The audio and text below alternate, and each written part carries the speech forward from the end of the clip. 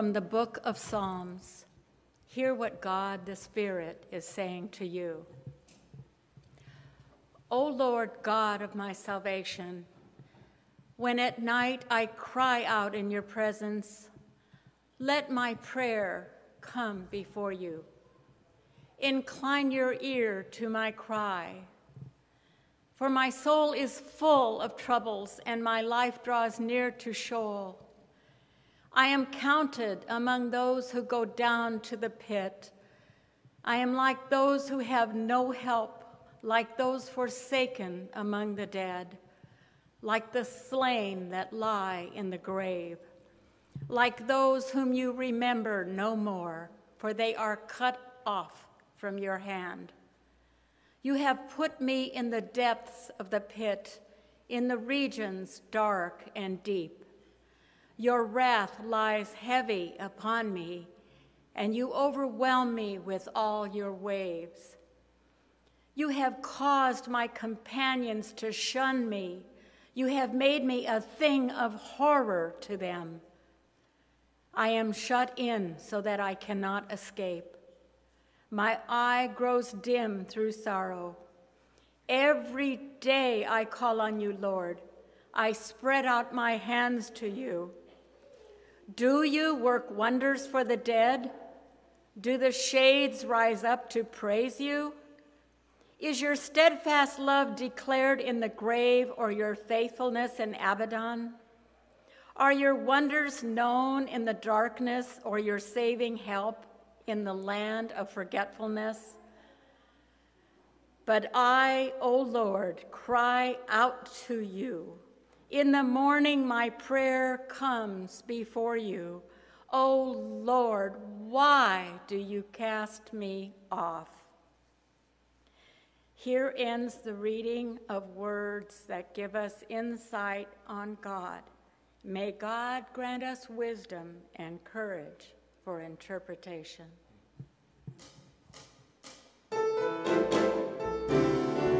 Sing with me, holly, Holly, holly, hallelujah.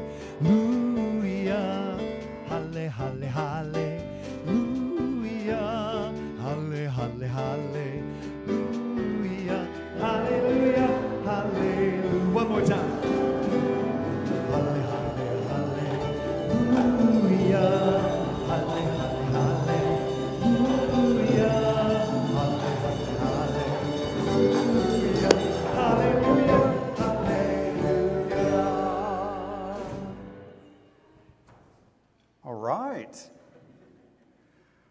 For those who don't know me, uh, I am the Reverend Dale Suggs. I go by the pronouns he, him, his, and I live on the land of the Kumeyaay peoples.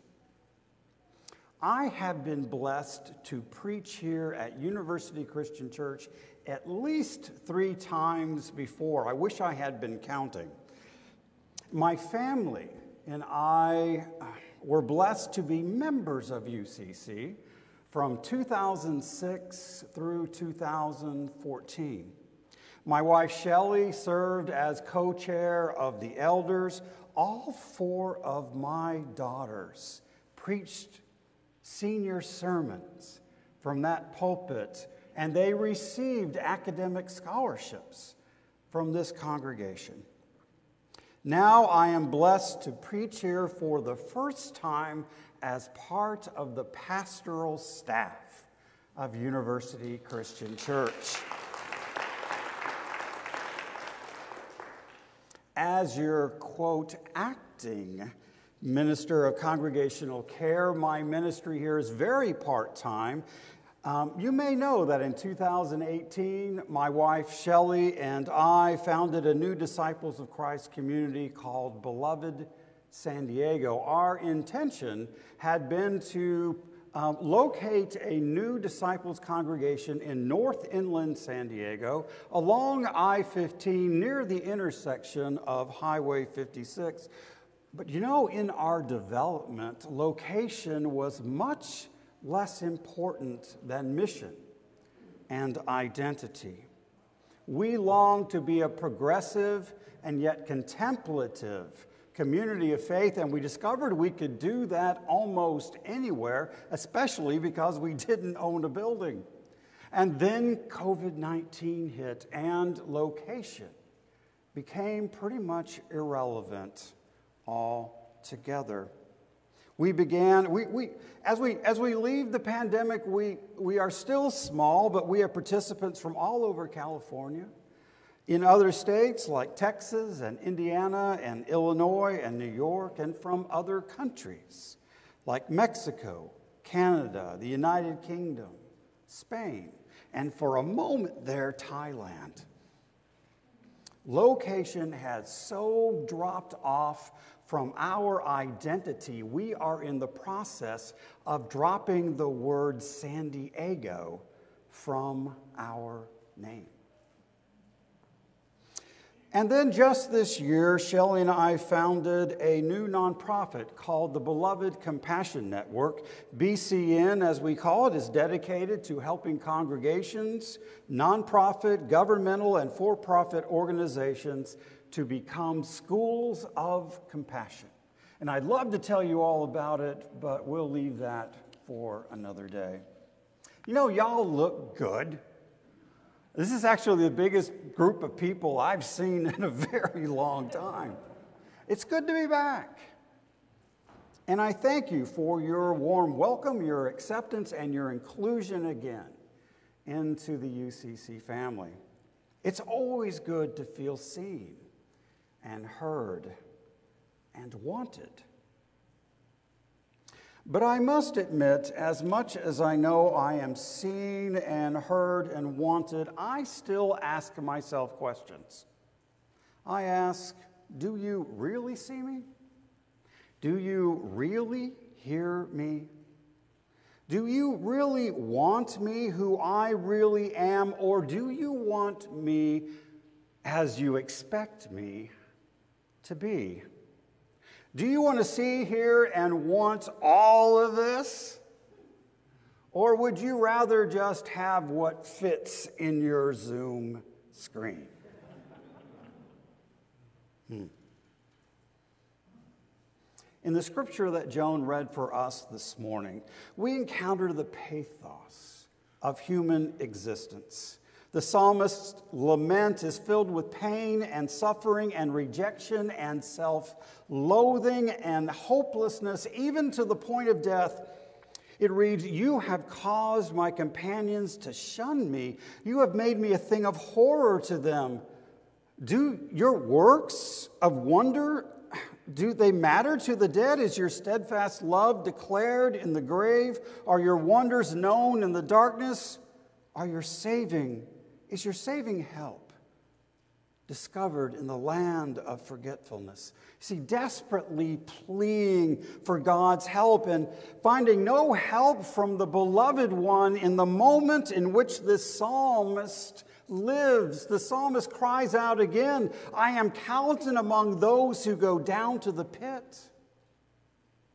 I am like those who have no help, like the forsaken among the dead, like the slain that lie in the grave, like those whom you remember no more, for they are cut off from your hand. I cry out to you, O Lord.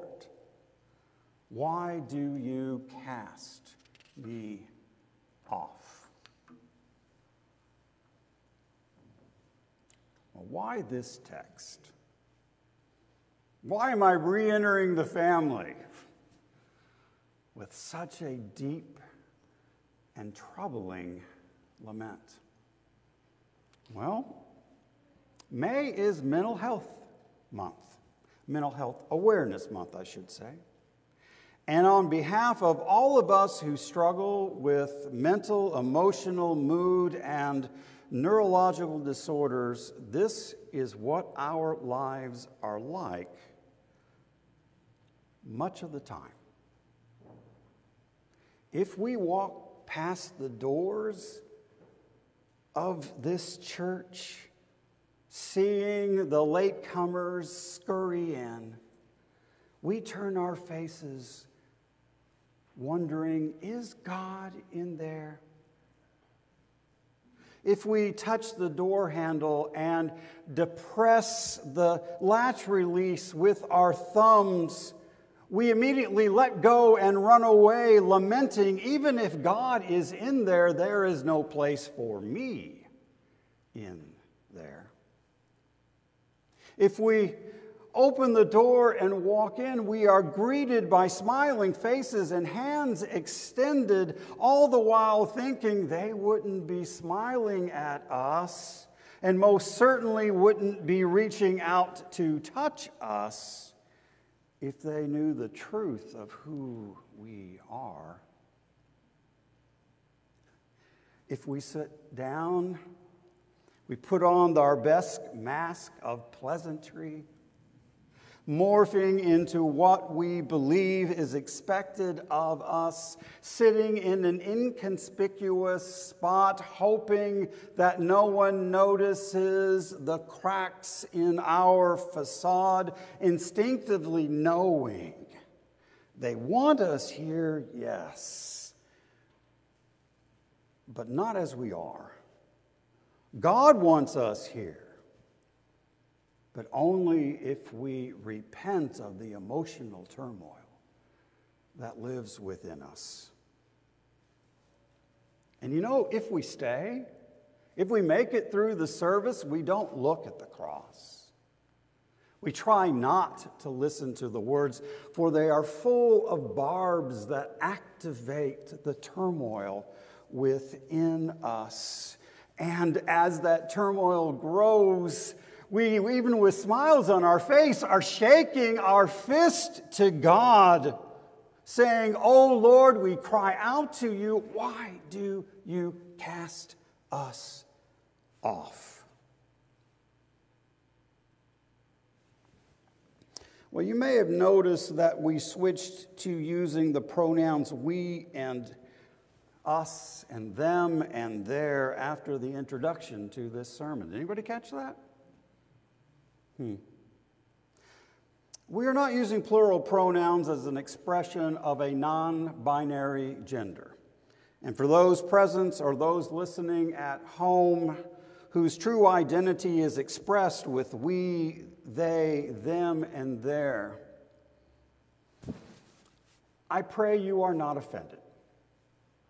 And I apologize if my word usage seems insensitive, but we are speaking in the plural for other reasons. Let me share a few. First, we are using plural pronouns because there are a lot more people struggling with serious mental health issues out there than you may think. You probably have heard the statistic that is trotted out into public view every year in the month of May. One out of five people suffer from a mental health disorder. But that means that for the 100 gathered here today, and we're pretty close to 100, that's cool.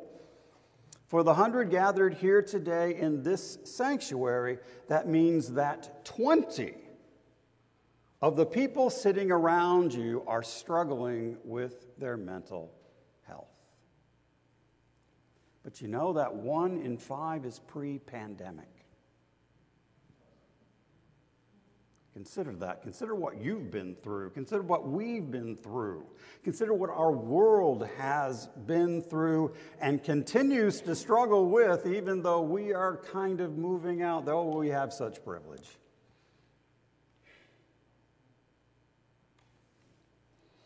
In January 2021, the number of adults reporting symptoms of anxiety disorder or depressive disorder doubled to two in five. That means of this gathering, 40 of those sitting around you are struggling with serious mental health issues. For Black and Hispanic or Latino adults, this number rose another 10%. That means half of us, 50, for young adults, 18 to 25, that number rises even another 10%. That would be three and five or 60 of us here this morning. And for special subgroups, these numbers have skyrocketed. If you think wondering, if you think the introduction of 100 anti transgender pieces of legislation in 33 states in this country don't have impact, transgender mental health concerns may affect four out of five. That would be 80 of us. That's a good reason to use plural.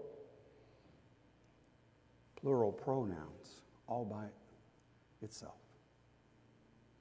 So many of us are struggling with mental health issues right now. That's one reason. The second reason we are using plural pronouns is because for every person who is struggling with their mental health, there is a family who struggles alongside of them. We lose sight of the families. Let's go to with the low end of the pandemic statistics and say only 2 out of 5 of us is personally struggling with mental health issues. Now, we would wager then that four out of five of us have a family member or close friend who is struggling with their mental health right now. With a simple show of hands, who knows, has a family member or a close friend who's struggling with mental health right now? That's a good number of us. That might be four out of five, maybe just a little under. Hmm. Maybe it should be all of us. You know, maybe the fact that everyone doesn't have their hand up here in this space and at, out there in the virtual world is because collectively we here are very fortunate, very privileged in our life situations. Looking out at our demographic, I think that's very possible. But you know, it's more likely that we haven't all raised our hands because our family and close friends who struggle with their mental health are not willing to tell us what's really going on. And strikingly enough, one big reason they're not going to say anything is because we are church going Christians.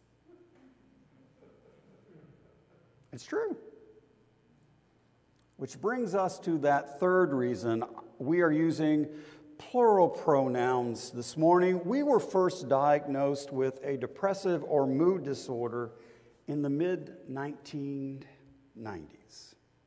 In our ministry, we share this reality only with a very small, controlled group of elders and board members. Now, by the time we came to California in 1997, struggling with depression from time to time, was how I would put it, uh, became more a part of my story with elders and with church board members, but not with everyone. This was not something we shared openly. And quite honestly, it's amazing how really well our reality remained a secret in these congregations. How is that even possible? You know, that secrecy was supposedly a good exercise in maintaining confidentiality, but in reality, we received it as yet another reason to believe that if it ever got out to everyone who we really are, our job, our career would be over. And don't even ask me about telling other disciples of Christ pastors or regional ministers or general level. Couldn't risk that. Way too dangerous. You know, after leaving our ministry at Torrey Pines Christian Church in 2005, we entered a period of deep depression that was surprisingly followed by a period of euphoric feelings and high energy and really undue confidence. That manic state came crashing down on a Friday evening in July of 2007. And for the next week,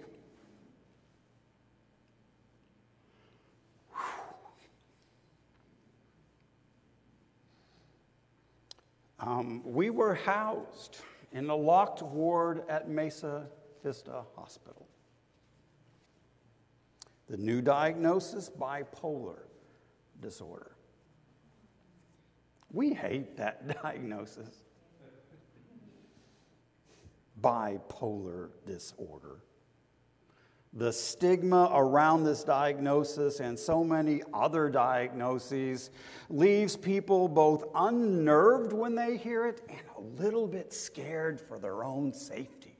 I saw the in the room when I said the words. We hate that diagnosis, bipolar. We hate the medication that comes with it even more. The side effects can be intolerable.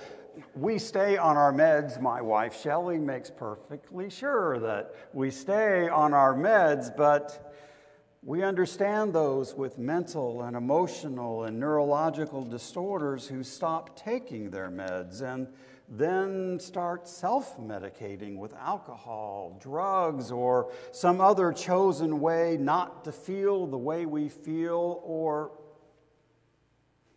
just to feel anything at all.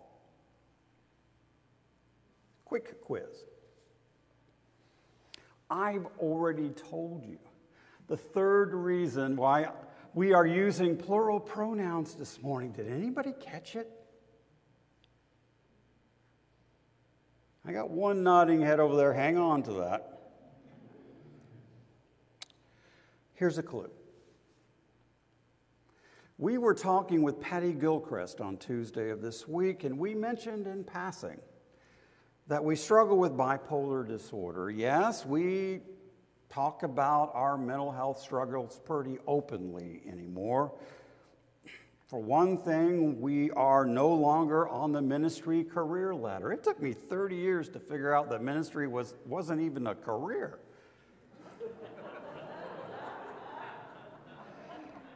Oh. They told me in seminary it was. They were wrong.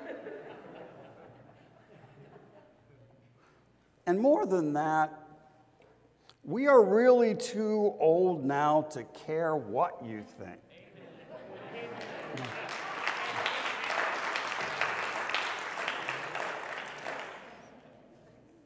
Well, we care a little. but not enough to not talk about what's really going on. Hmm. And for those young people within the, within the sound of my voice who are struggling with their own mental health, believe it or not, half of the battle is surviving long enough to figure this out surviving long enough to find the people and the doctors and the medications and the support groups and, yes, the spiritual practices that we need to thrive. It's different than for other folks. And there's a lot of trial and error involved, but it can happen. It will happen. And if you're struggling with it, call me. Let's talk. Back to Patty. I was talking to her on Tuesday, and I mentioned that in passing, and she called me back on Wednesday and said that she never knew that we struggled with bipolar disorder. I, you know, I missed that. I missed that plural a second ago. Patty called us back on Wednesday and said that she never knew that we struggled with bipolar disorder, and that's absolutely true. She never knew. And yet, When we entered that locked unit at Mesa Vista Hospital in 2007, we had been a week in and week out worshiping, homeless breakfast fixing, and committee serving member of this church.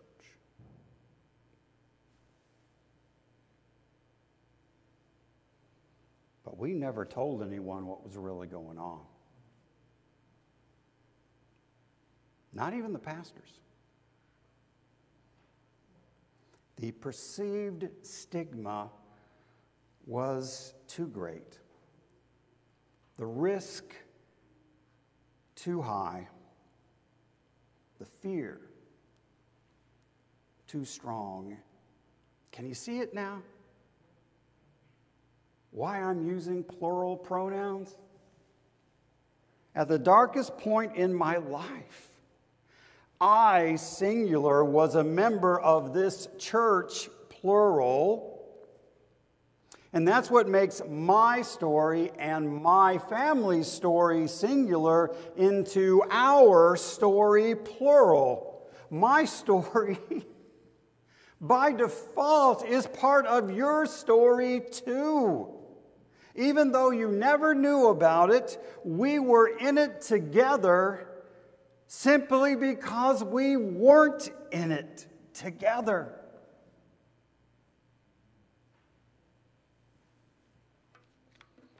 You know, the American church as a whole, and until very recently, even in progressive churches like this one and beloved San Diego, who focuses a lot on mental illness because you got me.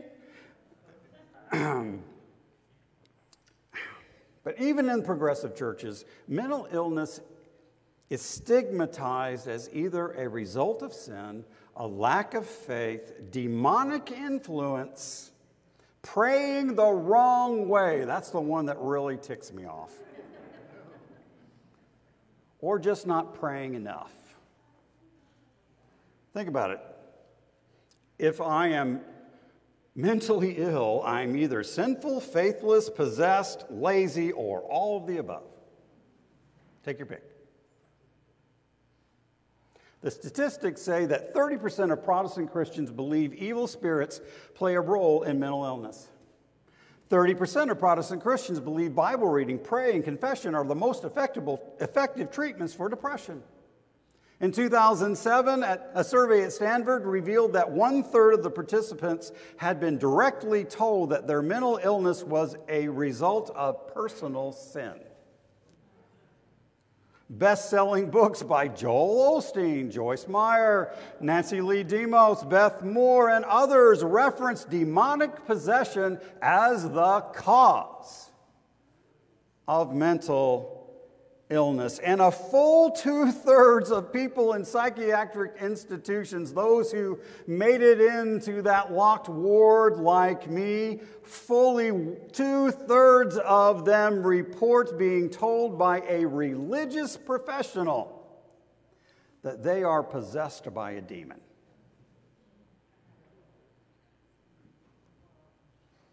And when we end this service today, and I make my little recession to the back of the church, people are going to come by and talk to me at the door, or they're going to send me an email or a text commending me on my bravery for speaking up about my bipolar depression. You know, just like your pastor's wife, Shauna. She's been called brave for talking about her postpartum depression. And as much as I appreciate that, I really do, and I'm sure Shauna appreciates it as well.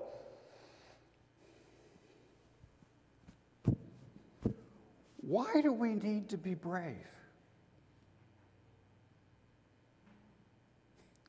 Why do we have to be brave to enter this hallowed space and be surrounded by the sacred community? Not as the people you expect us to be, but instead as the persons we really are. Why do, Why do we feel that you really do want me here, but you really don't want all of me to come along for the ride? The psalmist who poured out his anguish in our scripture reading this morning laid their pain unto death truth before God and the whole congregation. So welcome were the psalmist's raw words of lamentation that not only were they seen and heard and held and wanted, but also they were memorialized as among the holiest of holy words ever spoken. They're in the Bible, for God's sake. The psalmist was not commended for being brave. The psalmist was celebrated for being faithful. There's so much more to say here. I'm already running long, and you know, I'm going to run longer. Because I don't get to do this very often. There's a whole list of things that we, this gathering, and we, the virtual gathering, can do to demonstrate to anyone who walks in those doors or anyone who watches at home that this holy space is brave space, where their whole selves, including their struggles with mental health, are wholly wanted. There are things we can do. We can acknowledge the problem. We can name the stigma. We can learn about mental health and the struggles faced by individuals and their families. We can adopt a whole person understanding to mental health treatment, including doctors and counselors and medications and family and friends and support groups, and yes, absolutely, without doubt, spiritual practices. The whole person. We can get clear that healing doesn't happen when we're out there on our own. Healing only happens when we are in the midst of community. We can make it clear that individuals and families struggling with mental health are welcome and wanted, and we can do that in every publication, every gathering, every holy day decor, every month of the year, not just May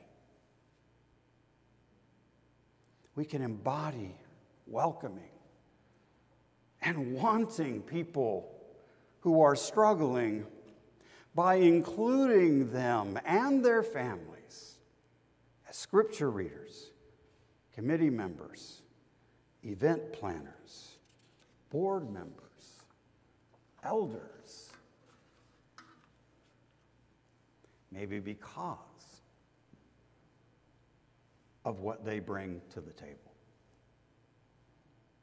Most of all, the most impactful thing I, I we, most impactful thing we believe that we can do is get honest about what's really going on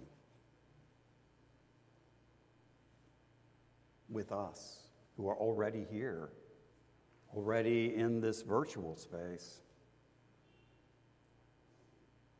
In other words,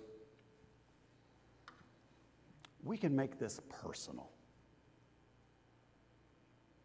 You know, there's a story told of Jesus in the New Testament of a woman who had been suffering for 12 years with an issue of blood, and she had gone to doctors and found no help there. In fact, they had made her worse, and she had become an outcast in her community. She was meant to live apart from everybody else. And if she went out in public, she had to keep her distance from everybody else because she was unclean. And to touch her would be to make yourself unclean.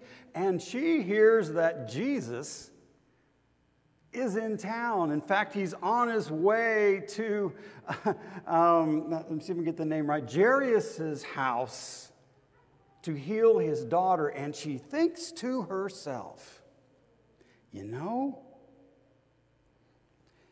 if I can only talk to him, if he could touch me, if I could just touch him, if I could just touch the hem of his robe, I know that I can be made whole. What if the church was like that?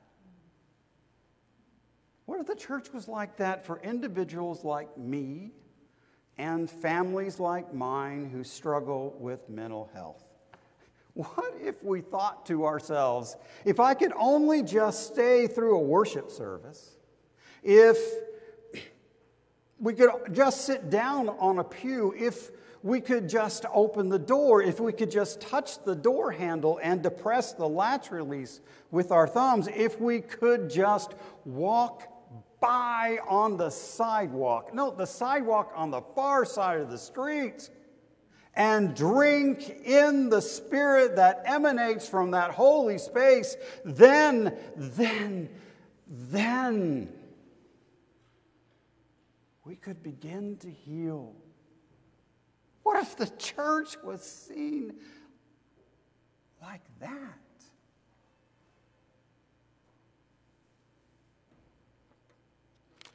That, my friends, is the church we're called to be.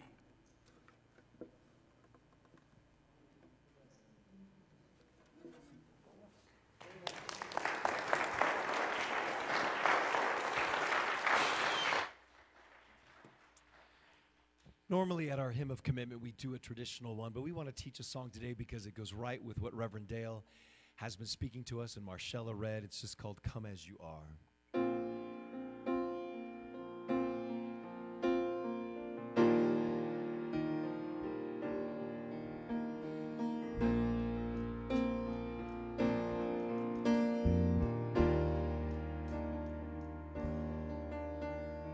Come out of sadness from wherever you've been.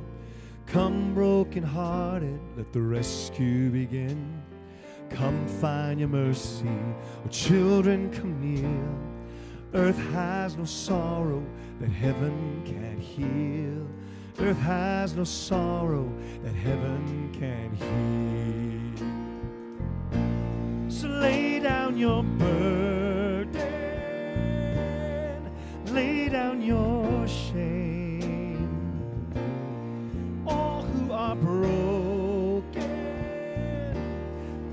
lift up your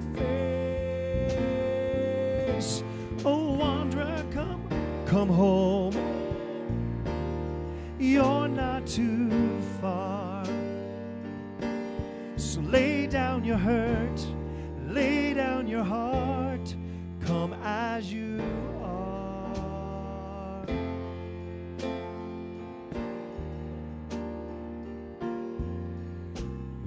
There's hope for the hopeless and all those who've strayed.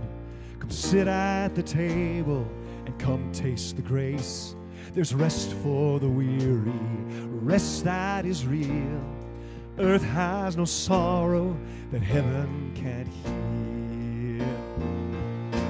So lay down your burden, lay down your shame.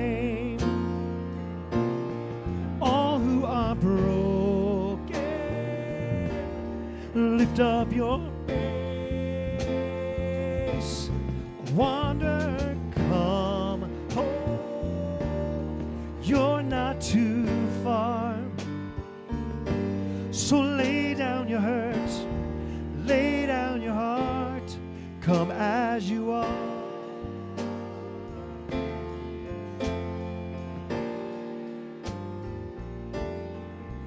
Well, there's joy for the morning. Oh, children, be still.